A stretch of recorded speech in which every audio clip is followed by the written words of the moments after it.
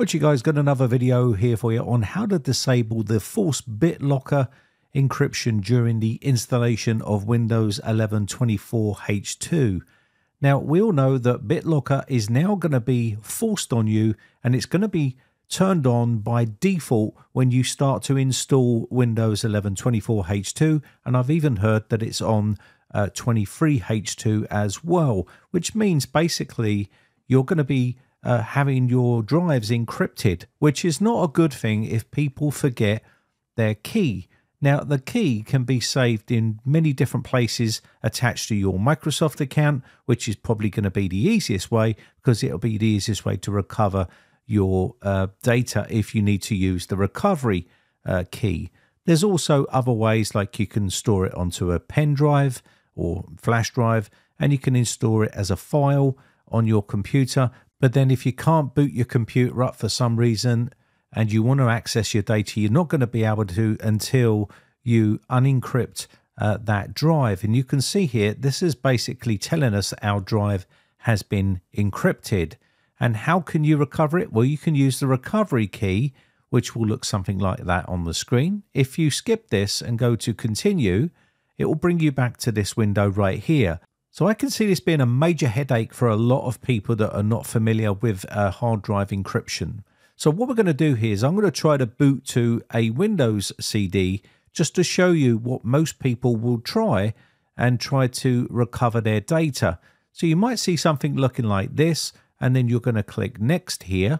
And I'm just showing you what people would generally do if they want to gain access to their data. So you'd click repair your computer. You may want to go into say troubleshoot and you might want to go into command prompt. And if you go in here and try to do anything with your drive and it's encrypted, you're not going to be able to because it's asking you here for the recovery key to gain access to that data. So you're not going to be able to do it even through a WinPE or anything like that. There's a lot of questions that people ask about WinPE. You can't gain access to the data because the drive is encrypted. If you look here and I type C colon, you will see the drive is locked by BitLocker drive encryption. You must unlock this drive uh, from the control panel. So you need to boot up to the system and then use your key to recover or unlock it so you can gain access to your data. And this is going to be a common problem. Now, if you've stored your key on your computer on your uh, partition on another drive, which you should never do. But if you have done, you'll be able to navigate to that location and write your key down and then basically use that key to unlock and recover your data. And you can see here the recovery key was put onto another partition, which you really should never do, really. You should store it off the computer and you should also have it either attached to your Microsoft account if you are going to use BitLocker so you can recover it that way. So let's take a look at how we can disable the BitLocker encryption during the installation process. So when you get to the country or region page, which is your out-of-box experience page, you want to push the Shift plus F10 and basically this will open up a command prompt window when you're at this stage of installing Windows or reinstalling Windows. You want to type in here task mgr, all one word, and you can go into here and open up a new task. From here, we can open up the registry editor or you can type registry editor straight into the box if you want to. But I'm going to go through here and run this as administrator privileges and type uh, reg edit right inside here. Click OK and this will open up the registry editor. So from here, we need to navigate to this location right here, to the location you see on the screen right now. Now, I can understand why Microsoft are doing this is because it's another security layer that you can add to your computer, but they're not taking into account the majority of people are not clued up and they don't understand what even BitLocker is or what even uh, hard drive encryption is. And this can cause them a lot of problems if they lose their key and uh, if they can't gain access to it, they're going to lose all of their precious data. So inside that location, the BitLocker folder right here, you want to go over to the right hand pane here, right click on that blank space, go new, and we're going to do a DWORD 32-bit value right here. Now we need to give this a name, so we're going to call this prevent device encryption, like so. And what this is going to do is tell uh, Windows not to uh, encrypt your drive basically, and it's going to prevent that from running uh, during the installation process. So this is how you can prevent, uh, you know, BitLocker from running at startup. So to do that, double click on it, and we need to give this another value. So give it a value of one, and we're going to click OK here. Once you've done that, you can now close off uh, the registry editor here, and this will tell the Windows installation not to encrypt your drive. So we can now close off the command prompt so we can continue now for the installation. I'll quickly speed this process up. And there we are, we're at the desktop. And you should now have a system that is not encrypted.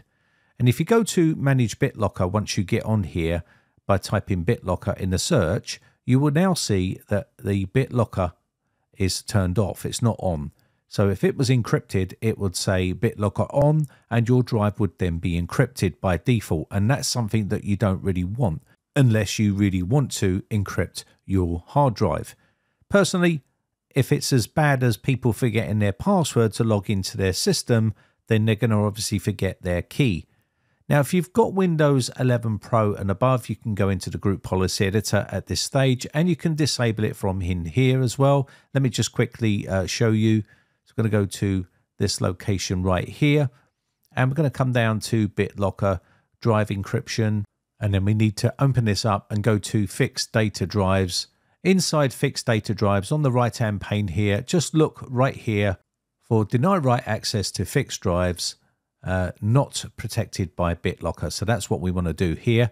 And what you want to do here is you want to disable this feature. So click this uh, as disable. If you disable or do not configure this policy, all fixed data drives on this computer will be mounted with read and write access. And that's how you want to uh, do it. You don't want to encrypt those. So once you've done that, you should be good to go. Uh, next, you can go to the services if you want to. If you don't want to use a BitLocker, you can also turn off the service here. Now, of course, you need to do this after the fact. So if you are using Windows, you can actually turn this service off by going to BitLocker Drive Encryption uh, Service Properties is set to manual. Uh, but you, if you want to disable it, I will put that on disable if you don't want to use a BitLocker at all. And that way it won't ever uh, start up. So click uh, disable there. And that's how you can disable it inside your services.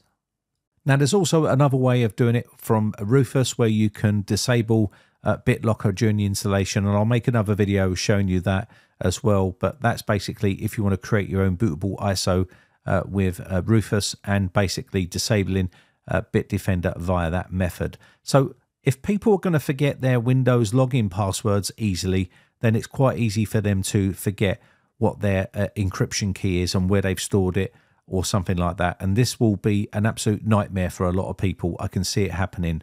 And this is for Windows 11 23H2 and also Windows 11 24H2. By default, uh, BitLocker encryption will be enabled. Anyway, but that said, my name has been Brian from briteccomputers.co.uk. Just want to say a quick shout out to all my YouTube members. I appreciate the support. I'll catch you in the very next video or I'll catch you on the Discord server chat. Bye for now.